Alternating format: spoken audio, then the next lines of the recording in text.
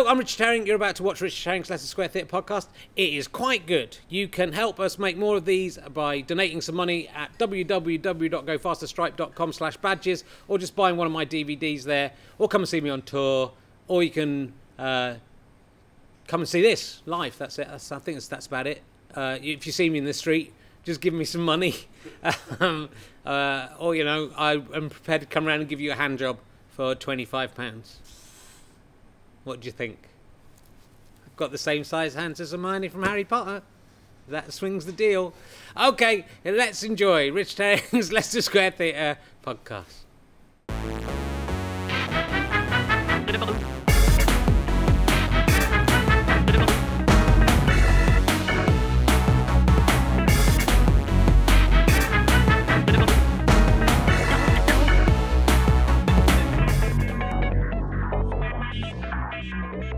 Ladies and gentlemen, welcome to the Leicester Square Theatre. You're much better than last week's audience.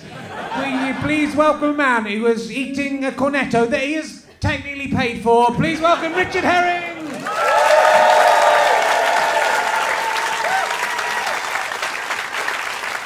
Thank you very much. Hello.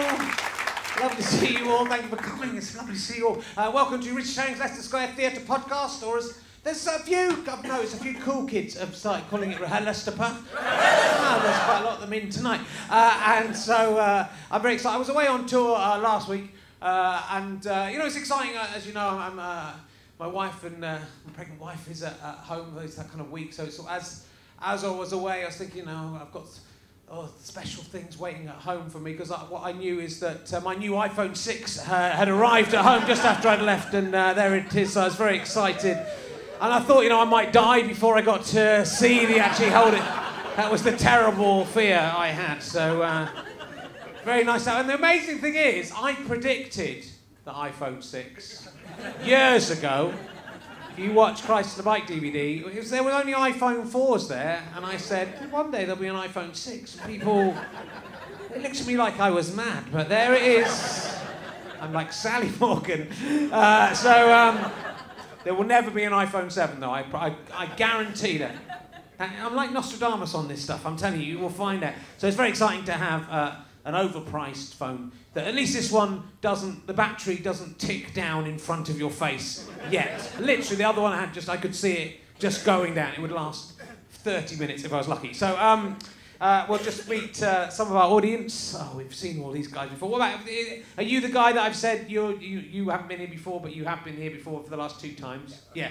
Uh, and what was your name again? I should know. James, you've been here so often. What fun stuff have you been up to this week, James? What have you done this week that has been exciting for you? What, is the, what amazing things have happened to you this week? I went on the internet. You, you went on the internet for a bit. when you say for a bit, do you mean like for a bit or just for a while? for a bit, okay. Yeah, it's fine. It's good. It's good for that. Uh, and uh, uh, what do what what uh, what what what do you do again? It's IT or something. It's uh, it's so rude of me. I should know what you do. You're not a nuclear physicist because that's this guy. Is it, do you know each other? That's my dad. Oh, is it your dad? You've had you've had sex with a lady. That's incredible. I should come to you because he's turned out pretty well. I, to be honest, I thought it was your. I thought it was your boyfriend. I didn't want. I didn't want to. I don't want to stereotype nuclear physicists, but I think they're all predatory homosexual. that is. Well, that's what I thought. So you've turned that around, and that is a wonderful, wonderful. Have you got any uh, advice for me as a, as a, as a father, what I should do to make a son turn out as well as this? Get lots of sleep while you can. Get lots of sleep while I can. That's good. Am I allowed to sleep when they're a, when they're a, a, child and just leave my wife to do it? Is that what you did? Yeah. Yeah, that's good to know. Uh, have you not gone into the nuclear physicist business? No. Does, that, does that disappoint you? Because that's if my child is not a comedian, I'm going to leave it on a hillside and disown it. That's the way I look at it. No money in it. There's no money in nuclear physics, but there's bombs. So that's the thing. There is bombs. What do you work on? What, what do you do? Ryan, what do you do? You're in a band. No. You, uh, you should be in a band. You're good looking. He's very good looking. Uh, I'm gonna do that. It's kind of when I say that to you, it's really a, a massive insult to say he's very, good looking. So uh, uh, I'm I'm not sure it is your child. Uh, so um, what? Tell me what you do. We've got to get him, get Rebecca on. Unemployed. You're unemployed. Good luck finding. Have you thought about nuclear physics? it's lovely to have you back. Thank you for coming along. And uh, we will. Um, I thought, you know, I tried to be nice to the audience this week, but it's still, I still came out. I'm a horrible person. I've realised. So I would just like to apologise to that man in Manchester with the whole cornetto thing. But you know, maybe just man your till properly. That's all I'm saying. So um, that was the lesson for you. What I didn't tell Sarah Millican is that I also, every time I go to a service station, I steal one pick and mix from every pick and mix that I go past. Because they're really expensive. I reckon over the course of a tour, I could steal about £60 worth of stuff just from one sweet at a time. But I would quite like to see what the authorities would do if I was caught stealing one sweet, whether they would. I'm just, you know, if I get caught, I'm delighted. If I don't get caught, free sweets. That's the way I look at it. So, uh, people are very disappointed in me kind of old Richard Madeley uh, feeling going on there. So, um, just to disappoint people are generally disappointed in him. That is all I was implying. There's another edit for you, Ben. And so, um, I didn't say a thing. Will you please welcome a woman who is best known for being Amanda Snell in the fantastic ITV show You Can Choose Your Friends. That is what everyone remember. And Vicky Jackson in Time Gentlemen Please. She was in Lionel Nimrod's Inexplicable World and Fist of Fun. She's also the host of Rule of Three, a, a quiz show that I wrote for that never made it to series. and I uh, was in Shush, a library sitcom that I script edited that never made it to series. all of those things, all of those famous things have a connection with me. Will you please welcome Rebecca Front, ladies and gentlemen? Rebecca, Rebecca Front from everything. She is from everything. Come in, sit down. How are you doing? I, had, I had actually forgotten that you were connected with some of those. I was exactly. awful. And they're all the things. They're the only things that you've done that have not won awards. No, that that's is true. not true. It is that's true. not true at all. It's, there's a Time strong. Gentlemen, connection. Please went on and on and on forever. It did, but no one, you know, no one Nobody liked watched it. it. It was good. It, you know, paid for my house. I to- I've told you that story about because that was one of the few, one of the only shows where I had a catchphrase. My cat. Well, actually, I had a few in that, but my uh, whenever I, my character came on, I had to go hello like that. Hilarious. You don't need to. And, um, You can tell from that reaction how many people remember that. and then sometime after, well, I suppose when the second series was going out, my, my mother-in-law at the time was, was quite ill. And uh, already a downer in the room. And I took her to a hospital appointment because I'm fundamentally a very, very nice person. And I took her to this hospital appointment. We were sitting there, and she was kind of slightly confused and, and distressed because she was at this hospital appointment. And all of a sudden, this porter came barreling down the corridor towards her and went, "Hello!" and she really, she leapt out of her seat. Just went, "Why did he do that? Why did he do that? Why is that man shouting?" I just know it's going. It's just I'm, on, I'm in this show on the telly that you've never seen, and amazingly somebody has. And the occasional. one time I got recognised. I've that. been recognised because I played the postman in that series, in the first series, uh, about four times, and I've occasionally been recognised as just the postman. That's all they know that I've done. You're the postman. You're, You're Mike the postman. postman from Time Time Gentlemen, Gentlemen, please. Whatever? Did you not get any other work after that? no, that was all I ever Did you did. not try telling them you were actually a postman he was, yeah, should in have real life? He would should have, he should have been. There were no fat postmen apparently, so he should have known. But you're Uh, very slim, Richard. I am now, but I wasn't when that man recognised me. So there we go. Uh, and uh, and you were in. You can choose. Who remembers? You can choose your friends. Was good, though. It was really good. That was a really good program. No, well, obviously not. That was one. That's the last thing I had on 2007. That was. That's quite a long time. That, is terrible. that was the last. That's the last time I was on TV. So uh, But have maybe you been I in anything? ruined it for you. Maybe that's what happened. Could there. be. If I hadn't been in that, I Yeah. probably would have got a series and gone Yeah, run, maybe. run, and run. Could be that. That's probably what it was. Me, Julia McKenzie, and Claire Skinner Yeah, ruined it for it you. did. It's, it's all those talented Because Claire people. Skinner's done nothing since, has she? Nothing like I remember when, outnumbered or anything. when we were she played my sister in that and we were uh, in the garden just going to scene together. She said, "Oh, I'm doing a, I'm doing a lot of things with comedians at the moment because there's a, and half a double act. So I'm doing this other show about a family that with Hugh Dennis. Don't know what's going to happen with that. I wonder, I wonder which of these two things will go on to be a massive success. There's no way of knowing, is there? That's what she said to me. Uh, so it was all right. It was all right. Uh, so. Uh, I'm just going to cry now. I'm going to die. No, no, save Uh, that for later. But uh, I first saw you in the mid 1980s in the Bobo Girls. Uh, Did you I think, I think? I saw you at the Oxford Playhouse. You came back and did like one gig at a charity thing in the. Was that just your way of mentioning that I'm a bit older than you? Yeah, you're slightly you older. came back, you You're know. Slightly older, but only slightly older. Only very slightly. Um, yes, indeed, Bobo Girls musical double act. That about the Bobo. Girls getting back together. I'm seeing her for lunch tomorrow. About the other Bobo Girls. Um, no, I No. don't think that's going to happen. It was like a musical. Yeah, we did sketches and we did songs, and I wrote all the songs. And my Right. brother wrote all the sketches, um, and then my friend Sioned William and I did them, did Yeah. the songs and the sketches. And um, yeah, I mean, we got a couple of radio series.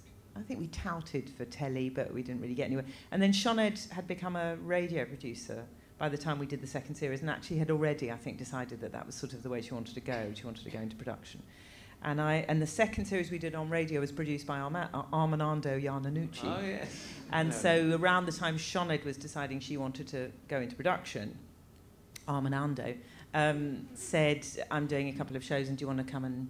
I remember him saying, do you ever do anything without Sioned? And I said, oh, yeah, yeah, you know, obviously. And then he said, and do you ever do anything which doesn't involve singing? So I said, yeah, quite a lot, actually. I mean, that's, that's sort of mainly what I do. So he got me in, first of all, to the Mary Whitehouse experience. And I did a couple of sketches in that. And then he got me into On the Hour. On the Hour, which I wrote for and did win awards. So your Yes. theory goes down the toilet. Uh, but that was. Oh, we had Steve Coogan on uh, last week. I know, how him? was he? He was very. He was. He, he's matured into a fine young man. If you ignore all the stuff that he does. We're not, nobody's listening to this. No, I can no. say something privately. And Yeah.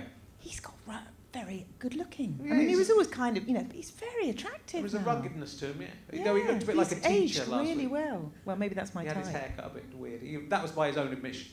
Uh, but uh, yeah, so it was. That was. Did you realise at the time when that group of people were brought together by Armando that it was going to turn, you know, explode into this uh, phenomenon of its generation? Um, no. Uh, no, I mean, I think I, I'm, I was interested in what you were saying earlier about because I'm a terrible pessimist, so I never think good of anything. I always think everything's going to turn out disastrously. So, no, I certainly didn't think it was going to be a massive hit. Um, and of course, it wasn't a massive hit in the sense that it was, I mean, it's still, it's stayed, I think it's lasted, it's stayed the test of time, Mhm. lasted the court, I don't know what the phrase is, but anyway, it's, it's kind of, it holds up. yeah. Um, but I it didn't feel like it was a massive hit. It's not like we were being kind of, you know, paparazzied and, and No. sort of people were kind of coming up to us in the streets and going, I just want to say I love your show, or anything like that. So it was a very slow burn and it had very small viewing Yeah. figures, even on telly, in listening figures on radio. And, yeah. Um, so it didn't feel like a massive thing, but it, it did feel like a very, very, very good thing. I did know that it, this was what I wanted to do, that kind of comedy. What was it like working with Patrick Marber? Well, I love Patrick. I was in the Oxford Revue with Yeah. Patrick. But the way you phrase that, though, well, I love Patrick. I know. I love That's Patrick because of you and Stu. Because I've spent so much time at the beginning of my career working with you and Stu, and who were, who always seemed, well, dare I say, to have a slight problem. I never fully understood it. To I think honest, it was made partly in fun. Yeah, well, I hope it was. But no, I love Patrick, and I, I did the Oxford Revue with him, Oh, and um, so I spent a lot of time with him. And it was Patrick, really, when I started doing things like on the hour, he was the only one I knew because I didn't know Armando or anybody else at all. So Patrick was my, my kind of buddy. I knew Dave Schneider a little bit, but so there. Okay. That's hoist you, It's your petard, it's okay. isn't it? And you are afraid of going in lifts. it's weird. What's that about? Um, yes. Have I you? But you've been in a lift quite recently. Have you got? Have you, got, have you managed to go back in your claust? You got No, claustrophobia. Yeah, I mean, really it's quite serious, really. bad claustrophobia. Um, it's. I went in one yesterday. I'm trying to do them all the time. Not all the time, but quite a lot of Only time. when you need to go upstairs. That's my advice. No, no, Or that's down. the thing with Okay. with therapy. I'm having cognitive therapy, which is which Okay. is supposed to help with phobias. No, it's not only when you need to go upstairs. it's ridiculous. You just do them. You just have to. Every time you see a lift, you have to go. Oh, better get in that then. So Have you, have you seen the film. Sliding Doors? Because that is very like. Yeah, it's You have to be careful doing that because you might change your life completely. Well, I, yeah, but I might come out not a claustrophobic, That's true. and that would be But quite that's a good. because you made that part of the when you in the thick of it. Part of your character in Mm. the thick of it was she had to go upstairs everywhere. Partly Yeah. because you have to go upstairs everywhere. Yeah, I mean, I, well, Armando just is very good at sort of plundering bits like that Yeah. from people's lives, and he he didn't know actually that I was claustrophobic. I assumed he did because his office was on the fourth floor, fifth floor, and I would, always arrive going. I think he just thought I was asthmatic, but I just assumed he thought he knew I was claustrophobic. Um, and I'm sure I'd left him at the doors of lifts and things and said, I'll meet you upstairs. I don't know what he thought, but anyway, he didn't know. So when I, he was just saying, you know, we, look, we film a lot of these things um, walking down corridors and there's a lot of motion, a lot of movement going on and sometimes in and out of lifts. And, and I just went, whoa, just going to stop you there. And then he beetled off to the writer's room and said, right, make her claustrophobic. It'd be hilarious.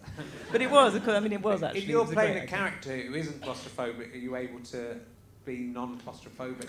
Well, theoretically, it would Yeah. work like that, but Yeah. I'm not that good an actress. But I think, in, in theory, you should. I should be so much in character that Yeah. if my character isn't claustrophobic, that is, in fact, one of the things that you took. We've talked about in in therapeutic.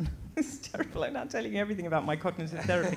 um, but we have talked about that sort of thing. Can I? Could See, I try is pretending? This is kind of therapy. It This is, and, I, and I'm being paid, which is fantastic. Um, but yeah, that notion of could, could I get in a lift and pretend to be not scared? But it turns out I'm not. I'm a bit shit. no, no, no, I can't. and do you know, did it come from, I, I was reading, I haven't read your, you've, you've written a book about... Uh, you haven't read my book. I haven't read it.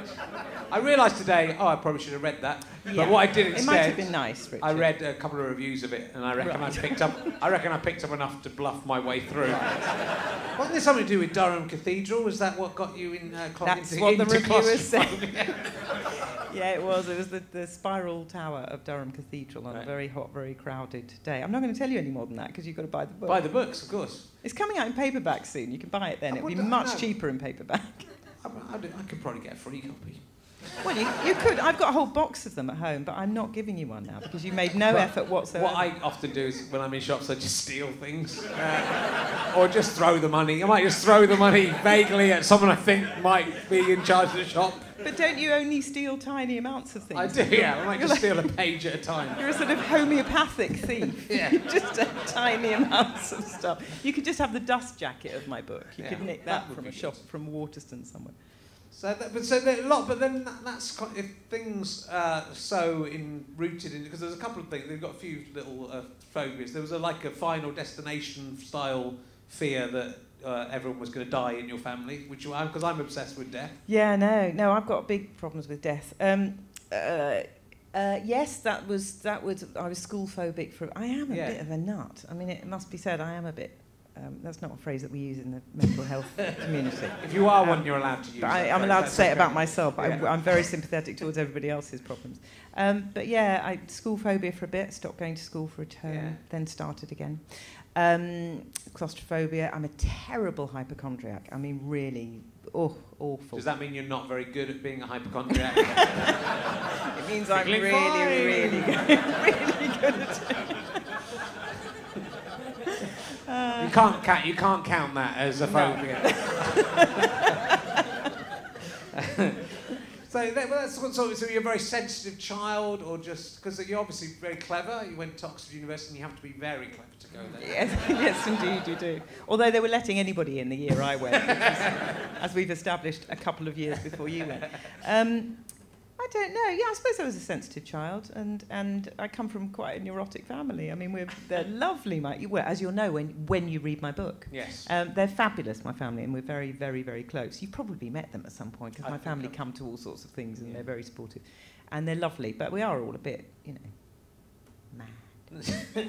but that's good. But like on on actor terms, you seem the most sane actor I've ever met. So Oh, I'm really good at seeming sane. Yeah. Really good. People often say that to me. You know, God, you say, how are you so calm? You're Yeah. so relaxed.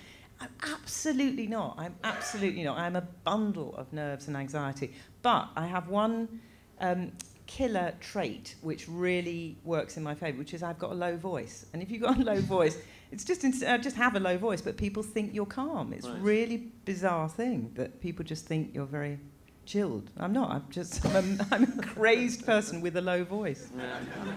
I'm just not sure. I've met a lot of actors, and you know, you seem like a regular person. Uh, so, which. That's the highest compliment I can pay you as an actor. You But- are being much nicer to me than you were to say. You told Sarah that she wasn't very intelligent because she believed in ghosts. I know. No, I said no. I said she would believe in ghosts because she wasn't Oh, very that's right. Yes, yes. It's much ruder than, than you This is even you, worse you don't believe in ghosts, do you, Rebecca? I would really like to. I do. I don't. No, I don't, to be honest. But I, I love ghost stories. I love hearing people talking about ghosts, and I'd love to. I love Yeah. the idea of there So being I, but that's why I asked that question. And uh, but and also with me and Sarah, we deliberately try and. She takes it as a compliment because she knows that I'm doing it so that she can come back at me with something But worse. she was crying backstage. She was crying backstage. was- she was really genuinely upset. Yeah, I, t- I take that as a victory. So uh, that's. I she also said she was she was she genuinely doesn't like you. Yeah. She told me. But anyway, you believe what you want to believe. That's Richard. as long as it leads to good entertainment. I was uh, No, that's the thing. It, it wasn't even entertaining. just slightly embarrassing. And people It were was applauding that. awkward. It was though, wasn't it? It was just unpleasant. The comedy What's that all about? You get people in, you're just horrible to them. It's just nasty. I don't know, I Stop don't- it. I don't know what's wrong with Can I me. just say one thing? Don't do that with your child. Okay. Really. It's not a good idea. Well, you can Because I me advice. You have had, and you know. you've had to. In fact, you we wrote into Time Gentlemen Please your second child. You did. became pregnant. It was such a long series. I'm going to say you became pregnant during the filming of it. It wasn't like that. It was. I think you became pregnant at home. It was a weekend. Yeah. it's, uh, it was such a long record that we, you started off not being pregnant, became pregnant, and were pregnant enough during the series that we had to put it into the Yeah. script. Indeed. So Miss Jackson had a had a baby with. Um, with Yeah, who was the it was dad? Barry, Uncle Barry, the, uh, Uncle who was at my absolute favourite character in Time. If you haven't seen Time Gentlemen, please. It's it's really good actually. It's a great show. Uh, Uncle Barry was Uncle Barry was uh, the, the pub landlord's uh, old elderly uncle who probably was his father as well, but we didn't, you know, that was the implication. And he had kind of jet black hair, but every time, every week, something would get poured on his head and it would all be dye and it would all come down his face. Uh, absolutely. But it was really funny. It was. It was funny. It was funny. It was very funny. But then, you, then you had a little baby who had jet black hair. Yeah. Sorry for that baby. That's right. We I did do. paint the baby's head black so that it could. You were going to use my baby. Was there, was, there was some discussion Did- about about when did you the say baby no? was born. No, I think no, I think uh, I seem to remember we we did discuss it, and I think I quite liked the idea. And then I thought actually it's going to be a pain in the arse, Yeah. isn't it? Because And also I'm going to have to change nappies as well as remembering lines, and that's True. going to be And that dye might and that die. might Yeah. give them brain damage of some kind. So, Yeah. but probably we could find out that chance. Probably the actual baby we use will be like 12 years old now. Yeah, Could, could get Indeed. on as a thirteen in as a fact. guest. Mm. Yeah, because of course it's the same age as your baby, That's so that's baby. how you were able to do that. But wow, she's good at maths. Just went to house, my daughter. Oh yeah, it's that that age. It was a, was a, wonderful series. No one saw that. No one saw you could you could choose your friends was up against uh, an episode of Big Brother where uh, someone used an offensive racial epithet, and that's why. So we were getting, we got quite a lot of viewers up to the point where Big Brother started, and then for the last half an hour, everyone stopped watching. Oh. That's my excuse for the for It the was good stopping. though. You can choose friends. It was beautifully Yeah. written. I mean, you can't say that because you wrote it, but it was beautifully written. It was very good. I'm your biggest fan, Rich. I Just know you are. enjoy You're- this. you were You've got somebody on this stage who actually likes I you and know. admires you. Enjoy it. It was. It's enough for me that you liked it, Rebecca. You're the only person who did. Uh, so uh, Lauren Bacall stole your husband's chip. Is the chapter of the book? Yeah. Is one of the chapters Yeah. in the book that you have failed to buy? yes, my book Curious, available in all good bookshops.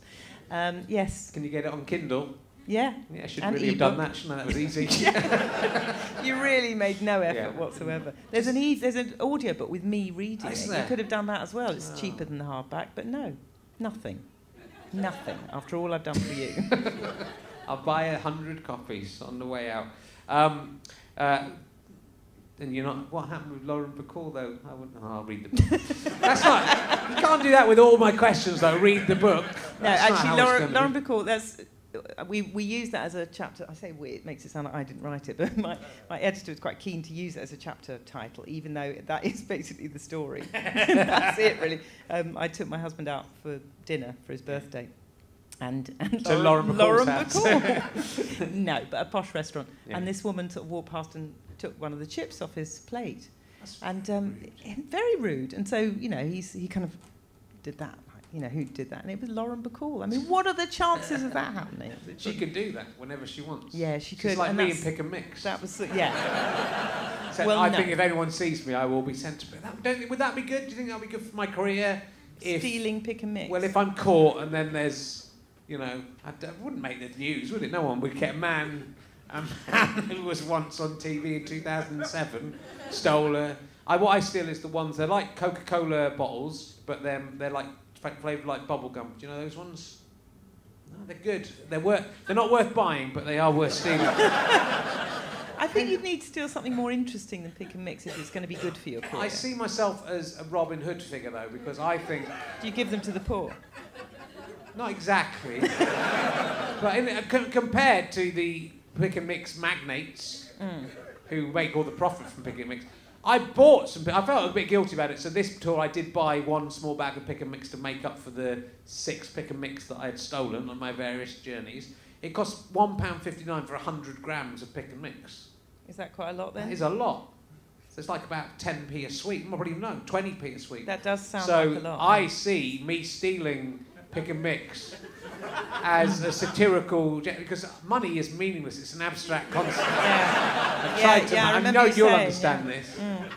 Uh, no, I didn't understand it, but I do remember you saying it. and so you know, I'm satirising the whole idea Yeah. of money by not using it You're, properly. you're the Banksy of pick and mix, really. aren't you? Yeah. and also, you get free pick and mix at the end. But it is a criminal offence. So I'm a criminal, so there's a, like an edginess to me that makes me, that gives me the sexiness that I've lost because I've become 10 years older than I used to be. Young women look at me and go, yeah, that's the guy who That's the steals. pick and mix guy. And then they go, yeah, but he's stealing that cola bottle that tastes like bubblegum. That's really not sexy at all. If he was a licorice thief, that would be a whole other thing. If you had to choose between dating, I'm sorry that your son, 15 year old son, is in the audience. If you had to choose between, I I can't have no control over the character of Richard Herring. If you had to choose between, I feel embarrassed because I, I do genuinely, I see you uh, like, and as you are, as we've established, very slightly older than me, and I do see you as Very an, old, slightly. an older sister figure. And then when you were on, when you were on Lionel Nimrod, I was very intimidated by you because you're like a proper actress and proper Are star. And but then I was, and then lo- loads of comedy fans would come up to me and say, "Oh, God, what's it like working with Rebecca Front? She's so sexy." I go, "Do you not, do not talk about Rebecca Front like that. That is she. Why did you she do is that, not you sexy. idiot? What you, She what is, you would sorry, she is above sorry. sexiness." So young men Yeah. were coming up to Yeah. you and saying Rebecca Front is sexy, and Yeah. you were saying don't talk to Don't her you dare and don't talk- say that. Don't talk. to her. Thank you That's very right, I was much, protect- Richard Herring. I see you very much, as I said backstage, like the Virgin Mary. In a way, I thought I'd get the Virgin Mary and a whore on the show this, this week. I thought I would do that, and then I couldn't find. Jordan said she wouldn't come on. That is. uh, so, uh, so I don't like having to ask. This is embarrassing for me to even have to ask you anything like this because I think you are above this, and I'm sorry. It's much more offensive than calling you a whore. Uh, if you, that man is furiously angry, or just very excited by the idea, the virgin whore dichotomy that all men have to.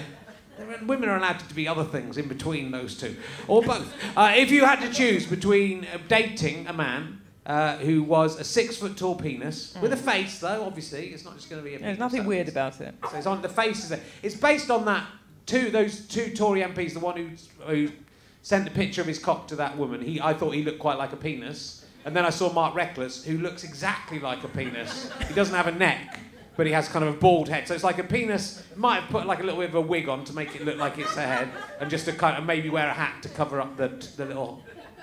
You know, Are we still talking about Mark Reckless, or are we now talking well, about the your penis? penis They're, they're the same, one and the same. Okay. I'm giving you my inspiration for this question because some people, like Sarah, thought I was being weird for asking this question. Yeah, I know. I thought that was Yeah. unfair. Yeah, it's a question I'm sure you get asked all the time. I do. yeah. So that's the man. He's a six foot tall man, but he is uh, resembles exactly a penis. oh, he resembles one. He's not one. Well, because he is one. He resembles a penis. There is a difference between a man who resembles a penis, which is, you know, not impossible that I one mean, I don't. Well, there's a philosophical But a man who discussion is a because penis. I don't know whether he, if he was a penis, that implies that he used to be attached to some gigantic Yes. mammal of some kind. and has become detached and is now a separate penis. It does imply that. That, Richard, right, yes. but I imagine him as never having been attached to another animal, so he's a penis. okay. so I would imagine it's like the elephant. Penis. It's like the elephant man, but so it's a man, but he's been born and he's been born as a penis, and his parents have gone, oh, giving him away to a fair, and uh, Anthony Hopkins has come in and said, oh look, I'll try and give you a life, uh, and then uh, the penis decides to look, commit suicide by lying on his back. Okay, I've got that one. And the alternative- Or spoiler alert on the plot of the Elephant Man there, and the life of the Elephant Man. Let's face it, it wasn't just a film; it was a real John Merrick, a real person. Uh, or a man who has, instead of a penis, has a tiny man, who may one day become detached and go and live in a Lilliput kind of land where he is the six foot tall penis. No, that's not part of it. Uh, it's a man. It's a man who is a. It's penis. It's like a regular man, but he's attached uh, to another man, and you have to date either the man who had the man instead of a penis, or I can't believe I this is a complicated question. lost the will to live. I, I mean, I'm going for the man with the other man because that way you get two men, I suppose. That's that would be all right. Because then if you get bored with one, you've still got the other one that you can talk to. Yeah, I suppose. Yeah. But I mean, really, Rich, really. it's a good question. I as, as your older sister, can I just say this? You are a clever man. You went to Oxford. You know, a long time look to think at yourself. Look at what you've become. It's very hard to come up. Very hard. Think of, think of the child If that is I'm- in your wife's womb right you've- now. You've paid to come and see me. If I, you like this so much, you- these people come every week. Even though I ask that to everyone, at least I change them These around. These people come every week because they're hoping one day you might change. they're waiting for redemption, and it's Could not going to happen. It Could be the case. All right, well, we'll leave that. I'll ask you proper actor questions. I sense my questions are not welcome here. uh, so, um, answered it. I do gave it a you, you know, you're in Lewis. I don't watch this programme. Well, you're too busy reading my book. But you're on everything. I can't. I've watched Grandma's House. That's really good. I've watched The Thick of It. That's really good. Uh, I ha- I've watched some of Nighty Night. It was good. Not as good enough for me to watch the rest of it. Don't worry. It was in the days before everything was on everywhere, so you had to watch it on. And I forgot to watch it. Uh, you were good on it though. But in Lewis, that's like Inspector Morse, right? But then Inspector Morse died, and they thought, oh, it's a shame. And they thought, can we, can we just carry it on with a different bloke being Inspector Morse? Why don't we bump up the bloke, the bloke who was his sidekick? Am I getting this right? Just let me know. Yeah, that's So the bloke is like, let's make it about him. Mm. Are you hoping that Kevin Whately will die so that then you will get bumped up? No, because I'm not the sidekick. I'm the boss. You see, as you would know if you'd ever. Oh, well, it's it. Billie Piper's husband is the... Indeed, it was Laurence. Yeah. Uh, but when we, the first episode we did, we did a sort of pilot episode of that, and um, they used to, when if, if you ever saw Morse, which you would have done, I because you went did, yes, Oxford, great. Um, and it was a training video. Amazing. really, but I thought, you know, I wouldn't watch this if he was dead. No. oh, that's not an idiot. It's called Morse. It's about him. But on Morse, they Yeah. obviously, like they do in police dramas, they had um, they had a boss, they had a It's like if in. Little and Large, if Yeah. Large had died, you wouldn't go, oh, carry on watching Little and Little did. and someone else. Just come in Little and someone worse than Little will come in. You'd start watching it. That's what I'm saying. Sorry, carry on. It's a different show. Anyway, the point I'm making is, uh, the first episode we did, um, they, th- I'd been cast as the boss, and in Morse, in the original thing, they'd had an actor called, I think it was uh, an actor called James Grout who played the boss, who's a really fantastic actor. And we went to the, we had a, a press screening for this first sort of pilot episode of Lewis, and um, one of the press people went out in front of an audience of journalists, like you know the whole, all the Guardian and the Times and everybody, and said, "Well, we're so excited about this new series. You know, lots of people really loved Morse, and they love the character of Lewis, and they're going to be so excited to see this new series." And um, and a lot of people are going to be looking forward to seeing James Grout coming back. Sadly, James hasn't been very well. Um, so I'm really sorry to tell you. that was how I was introduced. I'm really sorry to tell you we've got Rebecca Front. and I was sitting there just thinking, oh, thanks very much. Everybody's really whipped up, ready Yeah. for this. Yay, we've got Kevin Whately, we've got Laurence Fox. And I'm really sorry about this, but we've just, the only bit of shit that we could get was Rebecca Front. On the bright side, we don't think she has any major health problems, so Yeah. we'll probably be able to do it. But if Who James knows? Brown gets better, she'll be out. Don't oh, worry, Oh, we'll be out. don't- She'll I be was out. left in no doubt. Um, good. Uh, so, Grandma's house, is that done and dusted, or is there going to be more of those? I think it's done and dusted, which is a shame, really, because I was really enjoying that. It was good fun. It was good fun. That we didn't. None of us really enjoyed doing the first series. It was Really? stressful. um, and then we did really enjoy doing the second one. So ever since then, we've been nagging Simon and Dan Swimer to write some more, but Yeah. I don't think they want to, which is a shame. Been, has he been off in America? Simon's off touring and doing a lot of stand up, and Dan's busy writing other things. But um, yeah, no, it's a shame because I loved doing it, and I made some really good friends doing it. Me and Sam Spiro, who played my sister, Yeah. two sisters who hate each other, and became really, really good, good friends. So it would have been nice to do some more, but there you go. I could, I could write a thing where you're my mum, and uh, we could do it. You think anyone's going to buy that? Your mum if I'm Benjamin Button, I'm you. Benjamin Button. yeah. I did actually think he looked like you on the cover of that Uh, magazine. did you? Yeah, Brad Pitt, yeah. Yeah, I do look like Brad Pitt. That's why these people, a lot of these people come thinking it's Brad Pitt. have you, have you ever, you've worked with pretty much everyone. Have you worked with Brad Pitt? I haven't worked with Brad Have you? Pitt. Because like sometimes I saw like I was watching Wolf of Wall Street, which I mentioned uh, last week or two weeks ago, uh, which is a terrible film. But halfway through, uh, Joanna Lumley's in it. It's kind of fun when you see oh, that. yeah, she is. when you right. see, and she kind of, and, and Leonardo DiCaprio tries to get off with her. Yeah, that's right. And that's that. kind of quite good fun. And Mm. you think that. Is there, is there, is there anything like that? Have you been in those kind of? Uh, who's the? I haven't done any sort of big movie things, no. Um, although, you know, I'd be up Still for time. it. I'd be up for it, obviously, if it came up. But um, no, I've just done, uh, I'm doing some more dramas as well as comedy at the moment. Yeah. I'm kind of nudging a little bit in that direction. But no, basically, I'm still doing the kind of crap you write. I wish, I wish I could get you in. I wish I could write something that would get on. Uh, but uh, um, well, because you were in the radio, time, my wife pointed me towards because my research was so bad I didn't see this. Uh, that uh, you were in the Radio Times talking about uh, older actors and actresses. Oh, God. Was it in the magazine? Yeah, I think. Well, it was on the web. web it was on the website. website, Yeah. yeah. Yes, that was one of those. Yes. Hmm. I just I was doing an interview about the book, Yeah. and um, so I just was chatting, and then yes, it, you have to be slightly careful what you say because things, things get out on websites. I mean, it wasn't a pri- there wasn't an audience, so I suppose I was kind of happy to say it in public, but um, but of course also it always it's always slightly different, it's slightly truncated when you see it written down. It's not quite because what it what I'd said in this interview was I was talking about. Um, about there, there being fewer, you know, it, it's the thing that you hear actors saying all the time, or actresses saying all the time, that as you get older, there are fewer parts and so on. And touch wood, I mean, I'm getting quite a lot of parts, Yeah. so I wasn't moaning about that. But what I was saying was that I, I'd been sent quite a few scripts where the character that I'm supposed to go up for, I'm supposed to, or I'm being offered, is meant to be, according to the script, is meant to be 60 or 65, and I'm not 60 or 65. I'm very considerably younger than that. And the point I was making was they shouldn't, you know, if they're offering parts of 60 and 65 year olds to women who are in their late 40s or early 50s, then what are the actresses who are 60 or 65 going to get? And it has a knock on effect. Yeah. And I think the way it was reported was sort of, I, I now get cast as 65 year olds, which, which I like to think I don't. But I don't think that's why, I don't think it's because the casting director looking at me and thinking, well, you're clearly 65. I think it's just that thing of they think, well, we don't want to have a 65 year old, so we'll get someone like her in. I think that's, that was what the point Yeah. I was trying to make. It's, a, it's an odd thing about. Um, I mean, it's, it's a very difficult profession being an actor.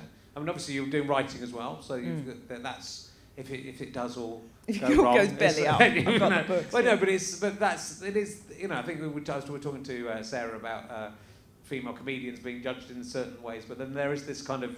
Uh, I think TV increasingly is about youth. Isn't it? Oh, I mean, is, even yeah. like we talk, old tricks now. Nick, we were talking about this the other week. Nicholas Lyndhurst is Yeah. now old enough to be in old tricks, Yeah. which that's not right. That's like they've gone. And someone's Tams- gone. Tamzin old, Outhwaite old tricks. really it's young. like all old people. Mm. Can't we get some younger people in this to be? It's too. That's the point. It's meant to be a group of old people. Then they've got like a fifty-year-old man in there. Well, and there's a, there's a sort of um, uh, the the added weirdness that actually the, the majority of people watching a lot of television, not just that kind of show, but a lot of television are older, in fact. Yeah. So there's no re- there's no reflection of that at all. It is it is weird. I mean, I think we have an odd relationship. I think we, as a population, or we as human beings, have an odd relationship to aging.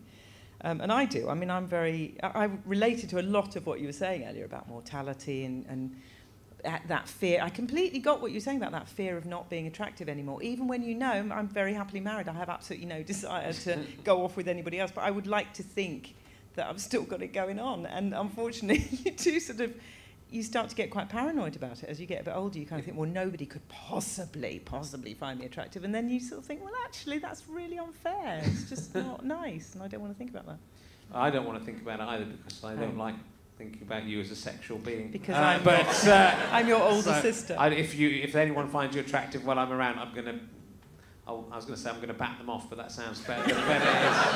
I'm not going to bat them off. Talking of people finding you sexually attractive, you should go on uh, Brit Comedy Confessions. Well, I'm I going think to would, after I think it would cheer you up a great deal. um, there's quite there are, there are a lot. There are a lot of Are. I'm not even going to read all of them, and they're they're not they're nice. A lot of them are like Can we give 30 seconds for my son to leave the room? well, a lot of them I think like for, if your son can think of it as the character rather than his own mother that these awful things are happening to. But I would remind your son that the reason he's here is because of the disgusting things his mother once did. So. No, we've already established it was a virgin Oh, that's right. Yeah, sorry. Yeah, yeah. Um, so, uh, yes, I'm completely straight, and yes, she's old enough to be my mother. This is written by a very, uh, very young person. But me and my friend have had many a conversation on what phone sex would be like with Rebecca Front It's the voice, you and see, it's the gorgeous low voice. voice of hers. That low voice again. Yeah. yeah. So you're enough to turn. I'm guessing a. You know why phone sex? You know why? Because then they don't have to look at me. That's what it is. Oh, all right, that wasn't a good place to start. I've, uh, with the oh, she's old enough to be my mother and is, is very unattractive. I now I now I realise. How about this? Uh, oh, yeah, your, your son should definitely shut his. Uh, well, no, although thinking about it, your son uh, has fulfilled this one. Uh, oh, oh, what I wouldn't give to be between Rebecca Front's fabulous legs. Is that is that all? That's, That's all that is. quite as Well, that's quite nice. That's, That's- sort of. A, do you know I actually had? Uh, so, um, actually, no, trust me, it's not that bad. Um, somebody tweeted me something, or, or copied me in on a tweet a couple of years ago, which said something like. Um, I have this fantasy. It was obviously a brief version of this, but I can't do it in 134 characters, whatever. I have this fantasy about a threesome with Rebecca Front, and I thought, oh, hello, what's this? And it's no, a threesome with Rebecca Front and Scarlett Johansson. And I thought, oh, that's interesting. And the threesome involved him, this person, whoever he was, having sex with Scarlett Johansson, and then talking to me about it. Probably with a bag over my head, I don't know. But it was very much, you know, because she's nice, and you can have a chat with her, you know. But I'll do all the other stuff. Just waiting for it to, you yeah, know. I'd just be sitting there knitting. Oh, I'm ready to go again now. Sorry, excuse me, Rebecca. Uh, poor, I've just had sex with Scarlett Johansson. Great. Oh, tell me about it. I'll put the kettle on. You tell me all about it. We'll have a lovely old chat. Uh, Re- Rebecca fronting up the women, prissy, uptight, and wearing a corset. Just fuck. You know, have you seen me in Up the Women? I have. Now, Up the Women is a part where I'm actually meant to be about 65. I've got a steel grey wig, and they, they, they deliberately heighten the colour on my cheek so it looks like I'm about to have a, a seizure or something. I'm not attractive in the like- least in Up the Women. Sounds like you're just about to come into your uh, golden era of sex. That's with really perverts on the internet. seriously weird. Okay, this one again is about a character. On my hands and knees. This one's weird because it doesn't sound like fancy. It sounds like something that has happened. That's what. I, so I just want to know. oh, well, that's what I want to find out. On my hands and knees, silk around my wrists, tying me to the bed frame. Malcolm Tucker's hands knotted in my hair as I suck his cock. Is this you? No. Uh, Doctor Who, maybe, but not Malcolm Tucker. Uh, Nicola. Nicola Murray. He's got two cocks, you know. That's the, oh no, it's hearts, isn't it? Uh, Nicola. Nicola. Might have to diphylactic. Uh, Nicola Murray fucking me from behind with a strap on. I've never come so hard in my life. Which to me sounds like that, that is something that. It's not like I would never come so hard. I never came so hard in my life as when that happened. So you and Malcolm Tucker, you in character and, and Peter Capaldi in character, had sex with someone. I'm guessing it could be. I mean, it could be a man. It could be a woman. I'm guessing it's a woman, but it could be a man. Did that happen? It, All it, it didn't happen. I think I think I would have remembered. No, I don't right, think it. and one, we'll do one more because I'm quite interested in the silk scarf. Yeah, well, just that's- thinking that's that nice could be quite nice. That's the only bit that sounds quite Yeah. fetching, you know. well, you could wear that later. Quite couldn't you? attractive. Yeah, it'd be Yeah, lovely. yeah. While I'm chatting about this bloke having sex with Scarlett Johansson, I could be dapperly dressed with a silk scarf around. I think that guy would fiddle with you a bit while he was talking. No, I, think, I, I- think he, I think he just. Uh, very definitely did not get that feeling. I think just like, just I've got to go back to Scarlett Johansson. It's fair enough. I mean, that's- Scarlett's over there. Forgive me, love. Uh, Rebecca Front dominating me with endless, rough, noisy fucking. This is you on your own. This is my de- This is why I like this one. And Sue Perkins watching silently in the corner. One good thing about that is that is that now Sue has been relegated. but she doesn't The even get to discuss it. It's like you're just going to stay there silently in the corner, thinking up jokes for Bake Off. even not getting aroused by it, just not, but just watching. Just.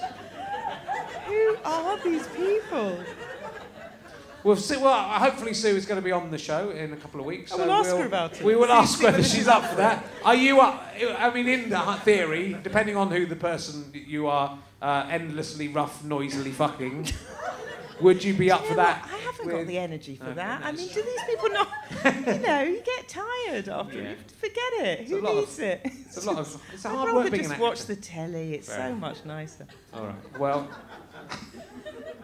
I'll ask you another an emergency question to Please do. because it's. I mean, you know, I didn't enjoy asking those questions Rebecca Front. I want you to know that I enjoyed asking uh, Sarah Millican. How about much did you enjoy asking Sarah? A lot. I really Did you? enjoyed Did it. you yeah. really enjoy Because asking? she was like the first person I've done it to. I was genuinely slightly uncomfortable about, it. and that that is my sexual fantasy.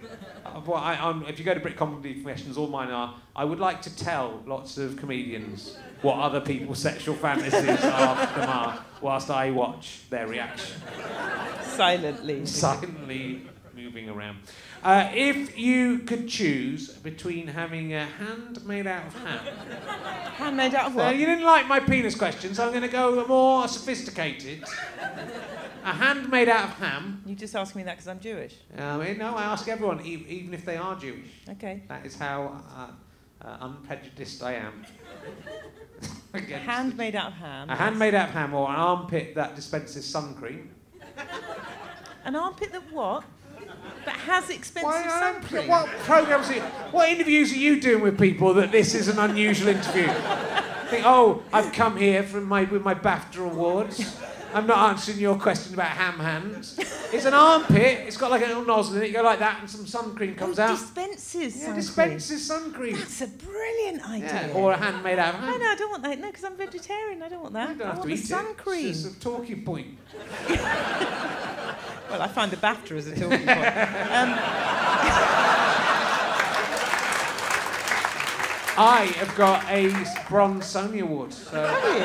I haven't got. No, I haven't got one of those. I have got a comedy award now as well, which I'm pleased about because it's about fucking time. Um, but, um, uh, no, I want the sun cream thing. yeah. Mm, that's that's very practical. That's actually a very sensible idea. If you patent that, you will have no more one, money worries ever. Okay, I'll, probably- I'll do That that. could work. Thank you. See, I knew we'd How do you actually? Do you have to? You have to kind of do, do that. that, yeah. So Yeah, that's not quite so good. You have to do it? that and then put your hand underneath to get And then so it make that like you're farty noise. do that thing. But Yeah. then you just But then sun cream comes out. Could you do it with things like hair gel and stuff as well? I don't think we can do that. I think that would be uh, blasphemy against the. People have asked for different liquids inside their gla- their armpit gland, but if you start allowing that, that's where madness lies. If we keep going, keep going down uh, that level. Uh, if you could choose between, I can't remember what the choices are now of these two, between having um, a tit that dispensed uh, talcum powder, that's right, isn't it? Or a, I have to turn to my audience now, I've asked so many of these questions, or a, a finger that could travel through time, but just your finger can travel through time.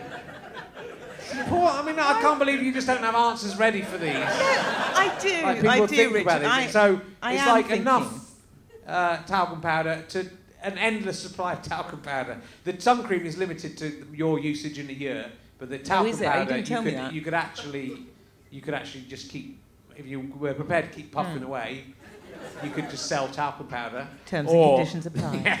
Um, Or a finger that can travel through time and you can touch things in the past or the future. why would surely nobody picks the talcum powder tip? No, do they? why would anybody? Everybody wants the time travelling finger. Yeah. Well, then why are you asking the question?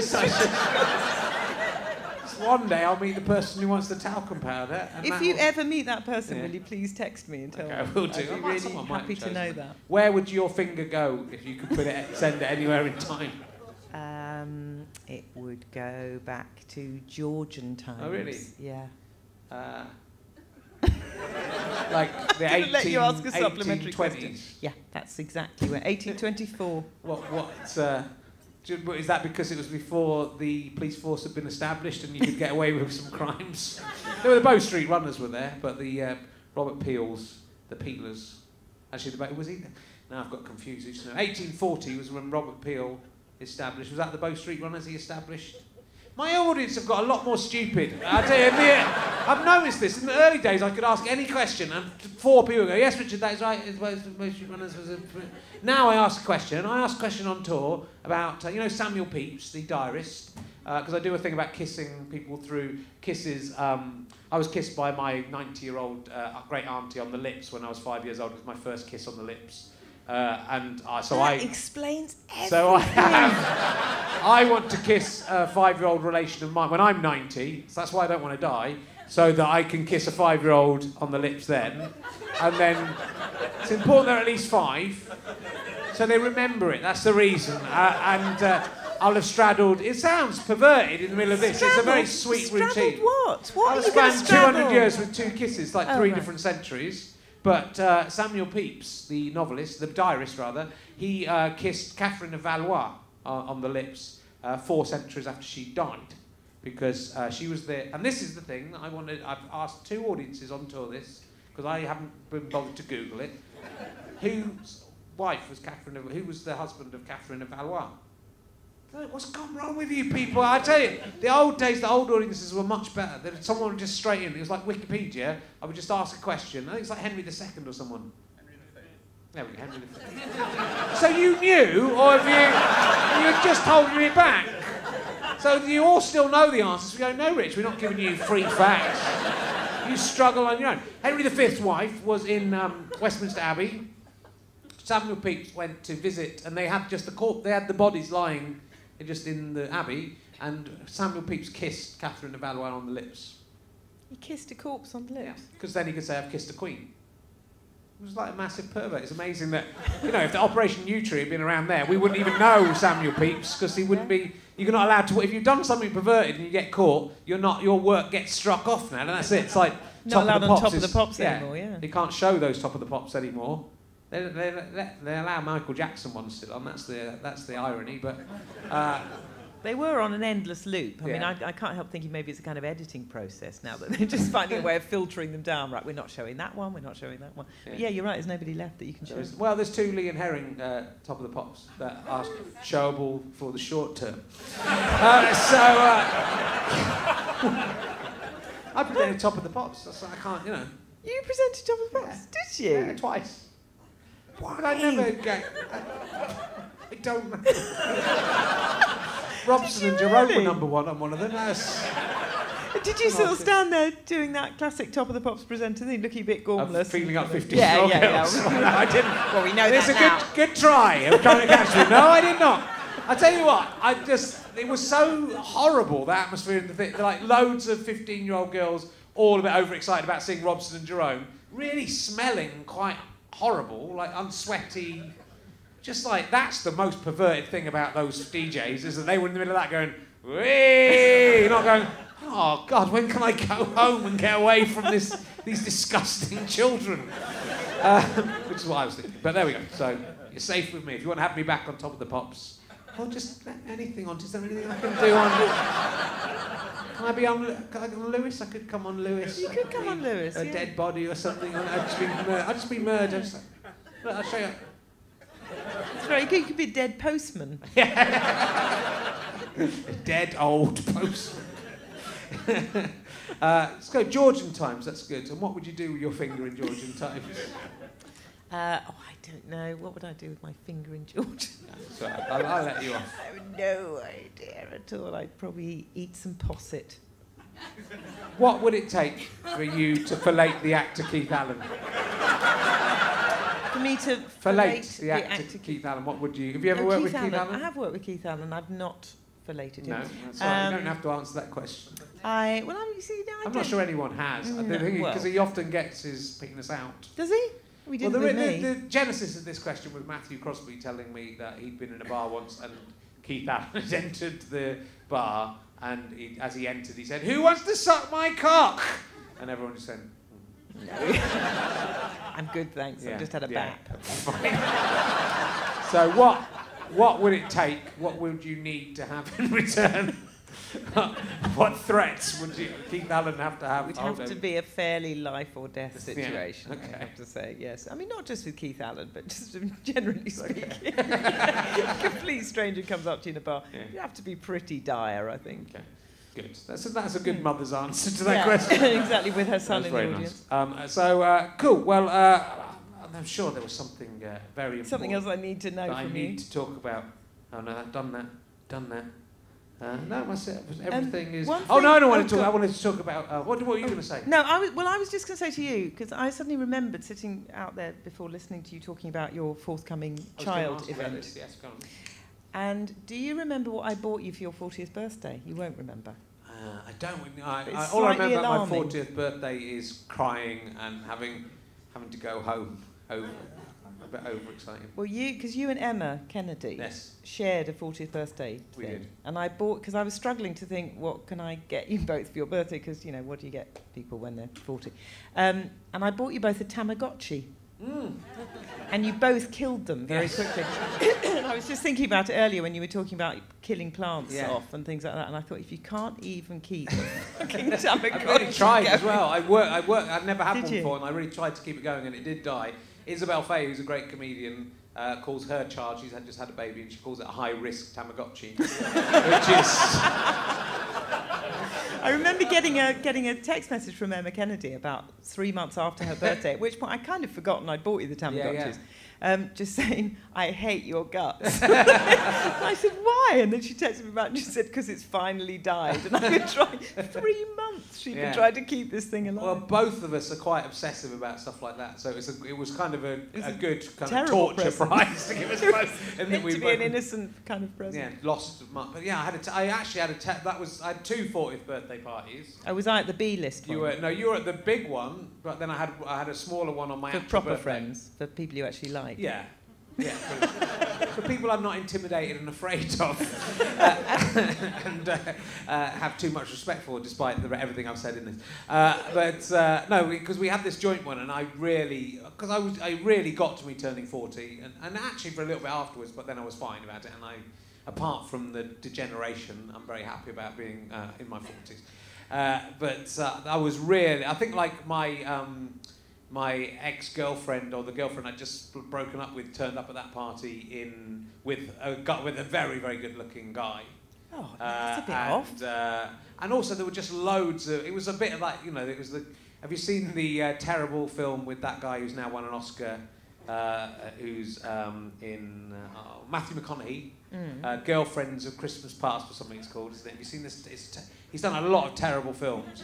He's sort of like this until he won an Oscar or got nominated for an Oscar. He was like he was the sliding doors of actors, basically. That was every film. If you saw him in a film, it was guaranteed to be terrible.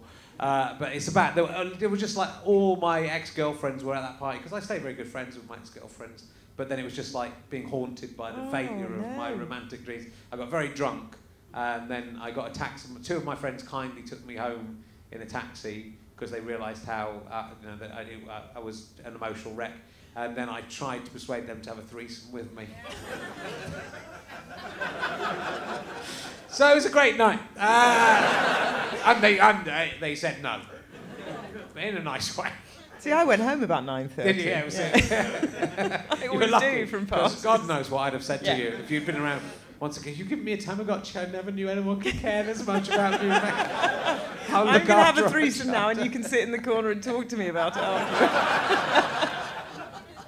Uh, so that was that. But then I had another 40th birthday on my birthday. Well, I just went, went, went to the British Museum with Ben Moore, and then I had some lunch with some friends, and I went to see a Die Hard 4.0, which wasn't very good. Uh, and uh, then we had a curry. That was nice. Well, thank you for sharing. And I was exactly for. I went to see the Piltdown. Is it the Piltdown Man? I'm, I'm really tired today. I should, have, I should have taken the night off really, but I thought it'd be rude for all of you people. Uh, is the Piltdown Man the, one- the one in the uh, bog? Yeah, uh, is that Piltdown? Yeah, because I thought I'd go and see someone more fucked up and leathery and old than me. That was what I did in the morning. That was quite good. Ah, now I'm 47. I'd How give anything, time to, I'd give ah, anything to be 40 now. It's weird, isn't it, the way it works? There we go. Funny old game. It is. It's terrible. But now you look like Brad Pitt, and you didn't Yeah. look like Brad Pitt then. No, that's true. But then he's actually slightly older than But, you. yeah. But now I'm married to someone else, so it's no good looking like Brad Pitt now. So she is. She's nice looking. She is. You've done well. I have done quite well. And I got her pregnant, so.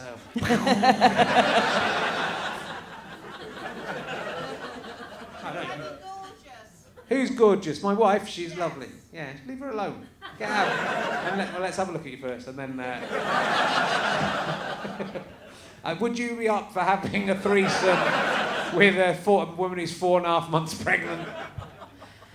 And uh, disgusting. I'll just. You can do it, and I'll just. You can turn to me and go. Oh, that was nice. No, okay. Uh, we won't do that. Do you have any advice for me? Uh, you have brought up two children, one of whom I've just seen. and He seems to be unbroken and alive. yes. Are you still there? Yes, I think. I you might, I might have broken him tonight, Yeah. at least mentally. Uh, Do, is there any advice you have for me? Because Sarah Millican has never had a child, so she could give me no advice. Um, uh, it's, I mean, not funny advice, but I can give you some straight advice, Okay. proper advice, which is um, listen, or explain and listen. They're my two watchwords. Mm. Explain everything and listen, because you, when you hear, you know, like kids going nuts in supermarkets and all that kind of stuff, you know, tantrums, and it's you. I mean, it's not entirely because of this. Sometimes it's just that they have tantrums, but it is usually because they're not being listened to. I think. So if you explain what you're doing and if you listen to what their problem is, it works. That is my advice to you. It properly, properly works. Sounds like a lot of work. yeah, but you've got to do that. You've got to do the let him work. have a tantrum.